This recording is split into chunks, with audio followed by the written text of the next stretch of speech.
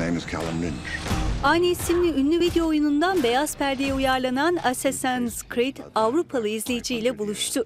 Justin Kurzel'in yönetmenliğini üstlendiği filmin başrollerinde Oscar adayı Michael Fassbender ve Oscar ödüllü Marion Cotillard yer alıyor. Cal, as anyone in the world knows or cares, you no longer exist. Oyun hakkında çok bir bilgim yoktu ama tarihi bir konusu olduğunu duymuştum. Yakın bir arkadaşım oyunun büyük hayranı ve her zaman konunun tarihi yanından bahsederdi. Şimdi ise çocukların bu oyunla geçmişe bir pencere açıyor olmaları epey ilginç. Getting interested in uh, in history is uh, is pretty. I mean, pretty interesting. Welcome to the Spanish Inquisition. Devrim yaratan yepyeni bir teknolojiyle genetik hafızası ortaya çıkarılan Callum Lynch'i Michael Fassbender canlandırıyor.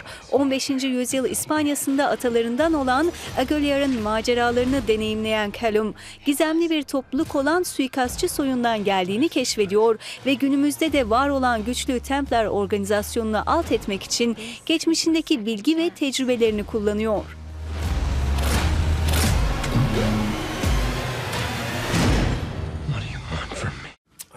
Bilgisayar oyunlarının sinemaya iyi şekilde uyarlanmadığı görüşüne katılmıyorum. Bir kez daha söyleyeyim. Bu tavır bence cehalet mutluluktur demekten başka bir şey değil. Ben bu dünyanın oldukça yaratıcı ve heyecan verici olduğunu düşünüyorum. Harika bir sinema deneyimi olacağına inanıyorum.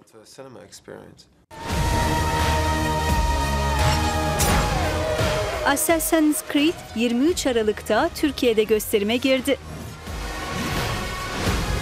Work in the dark to serve the light.